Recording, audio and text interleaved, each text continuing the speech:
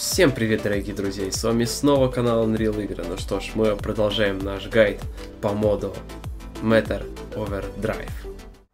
Ну что ж, сегодня мы будем заниматься энергией, термоядерным реактором.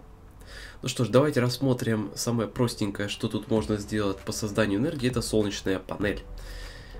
А делается она тоже достаточно просто. Из угля, два угля, а, три стекла, кварц нижнего мира, две микросхемы МК-2 и машинный корпус. Вот, она вырабатывает не очень большое количество энергии, 15 РФ за тик где-то, и, соответственно, только днем. Ночью она не вырабатывает энергию. Так, ну все, это можно убирать. Как вы видите, вот тут такая точечка странная, это гравитационная аномалия. Ну или, скажем так, черная дыра. Вот. Ее можно найти, просто прогуливаясь где-то в природе, возможно в шахте где-то. Точной информации нету, но ее найти можно. Вот так она выглядит, ее никак невозможно скрафтить и никак нельзя собрать. Вот. Соответственно, она выглядит вот так вот. Бывает разных размеров. То есть бывает чуть-чуть поменьше, чуть-чуть побольше. Ну, например, мы где-то ее нашли в природе, да? А, например, да пусть будет вот тут. Поставим где-нибудь вот тут. Вот. Сейчас вот то, что проис происходило, это было как раз таки то, что а, вот эта гравитационная аномалия, она засасывает в себя блоки. То есть рядом, возможно, будет маленький кратер, если это гравитационная аномалия, она большая. Ладно, берем контроллер термоядерного реактора. Давайте сейчас посмотрим, что нам вообще нужно для сегодняшнего выпуска. Так, машинный корпус. Обыкновенный. Так, курочку засосала.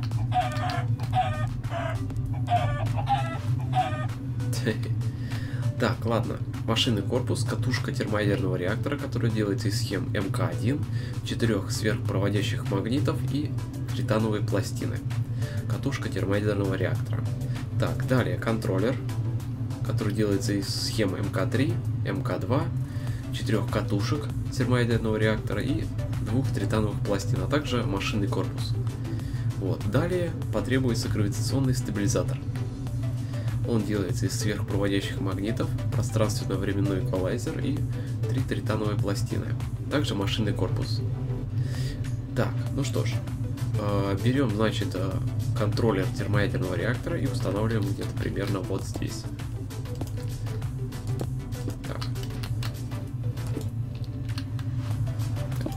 Чуть-чуть неправильно. Сейчас мы сюда сместим, потому что тут нужно именно попасть чтобы он был в середке. Вот, смотрите, тут вот такой шаблон идет у термоядерного реактора. То есть, видите, такие блоки, точечки. Собственно, нужно по ним и ориентироваться. Так.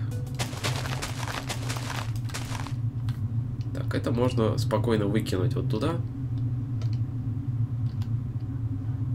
Видите, потихонечку блоки даже засасывает.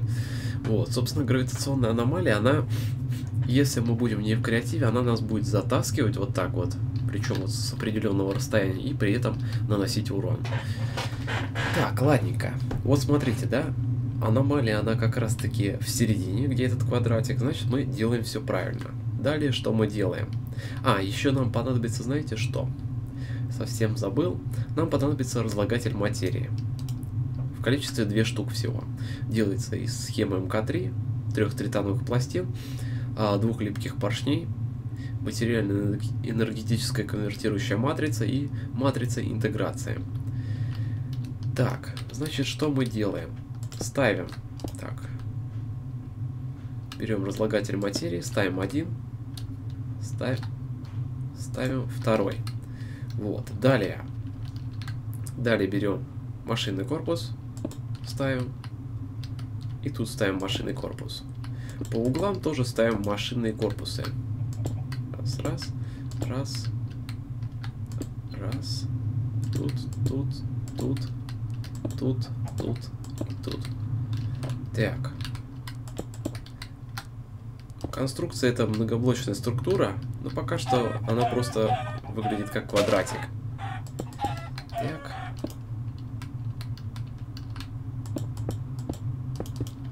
Так, такую вот конструкцию мы собираем пока что, да? Ну, как вы видели, что из машинок блоков, где нужно собрать. Вот я вот так вот специально сделаю, чтобы вы могли посмотреть. Вот. И вот эти катушки термоядерного реактора ставим вот тут уже по краям. Вот таким вот образом. Все, теперь конструкция завершена. Вот тут вот написано, что все 100% и у нас все отлично. Вот такой вот меню термоядерного реактора. Так что тут места для апгрейдов по-прежнему есть. Не знаю, что они тут будут делать, но они все же есть. Так. Так, вернемся в главное меню. Так, вот это. Это прирост энергии, то есть какое количество энергии у нас будет вырабатывать термоядерный реактор при таком количестве поступления в него материи. То есть, если ему закинуть вот, вот такое количество киломатерии, он выработает столько-то энергии в тик. А вот этот своеобразное такое колесико, да, чем, ну, если энергию не забирать вот через этот слот или через какие-то, видимо, провода, то, соответственно, она будет тут накапливаться до тех пор, пока не дойдет до 100%. И шкала будет тут, тут вот так загораться. Давайте приступим к производству энергии и посмотрим, как вообще все это работает. Так, ну, например, возьмем... Так, какие ладно материю? Блок травы, например, попробуем взять. А, разлагатель материи заходим. Кладем сюда блок травы, например. И кладем для начала какую-то батарейку. Потому что, чтобы генератор разогнался и сам себя начал обеспечивать, нужно, чтобы ну, начальный старт дать. Вот. То есть, видите, сейчас разлагается, и, соответственно, материя будет производиться и сразу будет поставляться вот сюда. Как только материя поставляется, вот тут тоже будет чуть-чуть отображаться вот в процентах, тут сколько она есть, видимо. Она вот тут будет вот так тоже ползти. Вот. Эффективность 100%. Столько-то энергии вырабатывает и... Вот. Энергия пошла. Видите, 0,4 тысячных. 4 тысячных, по-моему. Вот. И смотрите, что мы можем сделать. А, вот эта штука, гравитационный стабилизатор, да, она нужна для того, чтобы а, гравитационная аномалия, она не расширялась. Она может расшириться вот вплоть до таких вот размеров, примерно как этот а, наш реактор термоядерный. И, соответственно, чтобы она у нас не поедала мир, потому что она может, нужно ставить вот такие вот гравитационные стабилизаторы. Но давайте попробуем сначала я продемонстрирую, как она поедает мир. Берем для этого алмазные блоки. Не знаю, почему именно алмазные, но только после них она начинает адекватно работать. Смотрите, кидаем. И начинается нечто. Черная дыра начинает, ну то есть она приобретает большую массу и начинает с большей площади засасывать в себя блоки. Блоки, предметы, сущности, и при этом она растет. Чем больше даем, тем больше оно прожорливее становится. Засасывает все, даже воду.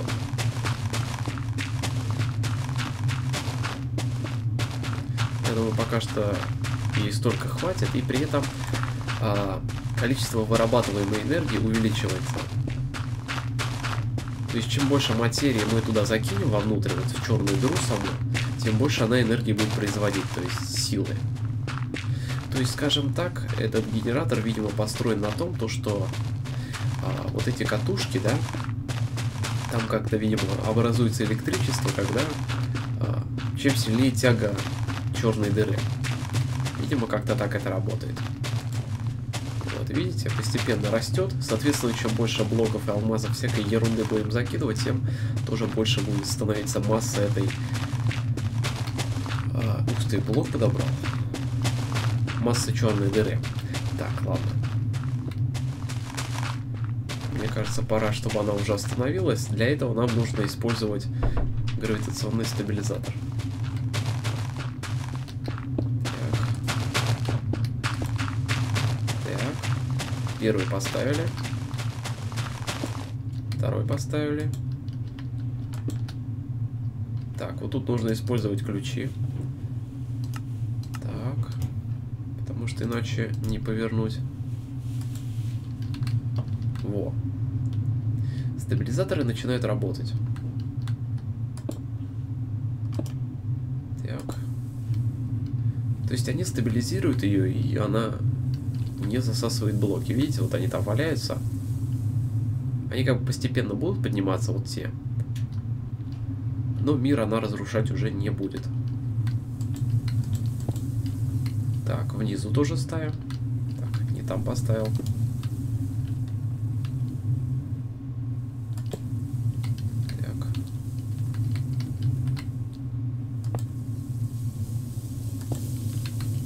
Вот. И чуть-чуть выше ставим. По-моему, а, гравитационная аномалия не засасывает только обсидиан. Ну, если в мире он лежит, но имею в виду без стабилизаторов вот этих. Так примерно. Так. Вот, все, теперь у нас а, засасывать вот этот блоки из мира больше не будет аномалия. Так что можем спокойно сейчас посмотреть, сколько тут. 938 RF тик выдает.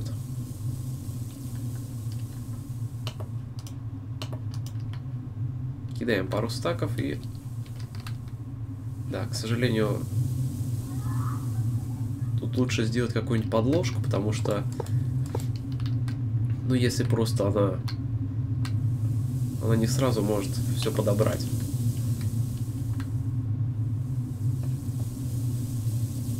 То есть очень медленно или даже вообще не подбирает.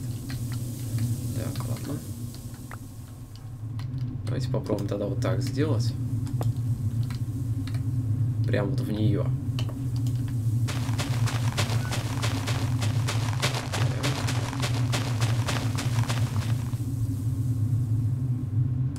Проблема уже в другом.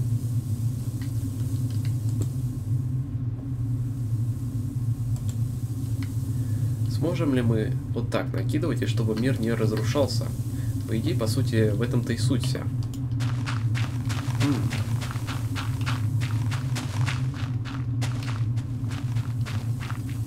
Мне кажется, что стабилизаторы не справляются со своей работой.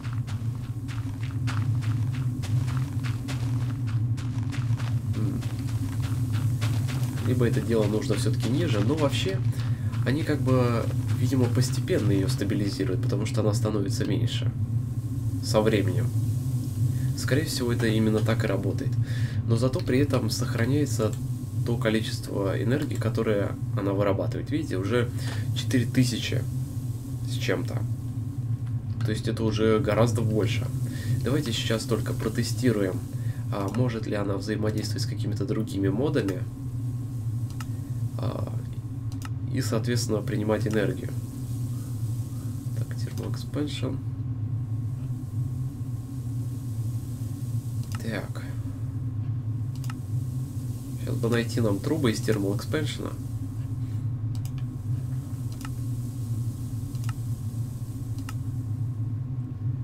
Так, вот они.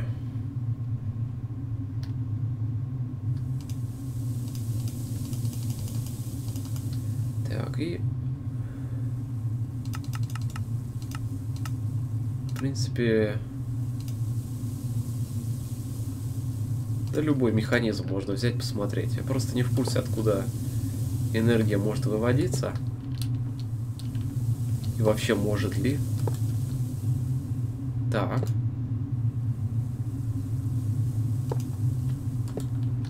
Вот так она не выводится, не подключается тут.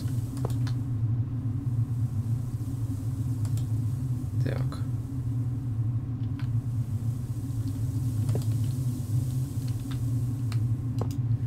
Сейчас даже вот интересно, будет ли она так работать.